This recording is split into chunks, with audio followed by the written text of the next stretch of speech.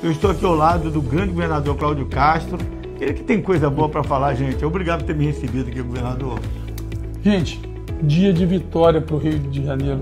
Uma luta que eu estou há quatro anos e tenho ladeado com o Washington nos últimos dois anos.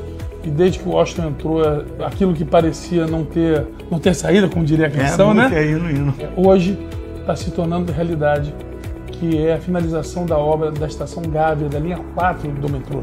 Foi aprovado no TCE a assinatura de um, de um termo de ajustamento de conduta, um TAC, que só precisa agora da homologação do Tribunal de Justiça, que já foi bem conversado, para que a gente possa, de, de uma vez por todas, terminar essa obra, é, tirar aquela água de lá, que apesar do, dos laudos dizendo que está tudo bem, o metrô de São Paulo também dizia que estava tudo bem e um dia caiu.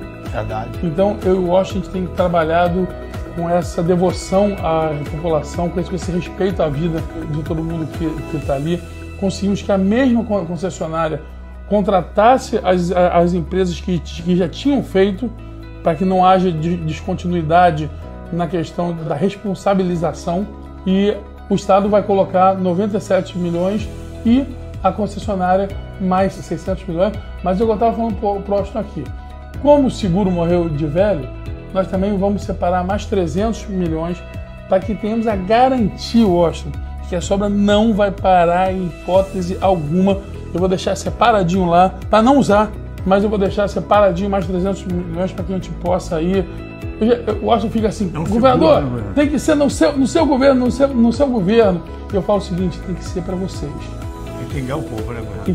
É o povo, vocês têm que ter esse benefício e a gente vai tentar muito entregar essa obra antes do fim de 2026, mas tenho certeza que o principal é uma obra bem feita, com segurança, e virar, Washington, de vez essa página triste de uma obra tão tentada. Agora, acrescentando, o senhor destravou o sistema de expansão do metrô. Tudo estava travado ali nesse processo judicial. Daqui para frente você vai poder licitar é, os projetos de modelagem, de expansão para Niterói, São Gonçalo, Recreio dos Bandeirantes, Estácio de Sá, Praça 15. O governador Cláudio Castro já deixa um legado no sistema de metrô do Rio de Janeiro. Isso aí, gente. Estamos muito, orgulhosos, fe felizes a certeza de que combatemos um bom combate, guardamos a fé e hoje Obrigado, é um dia de vitória. Gente, um abraço.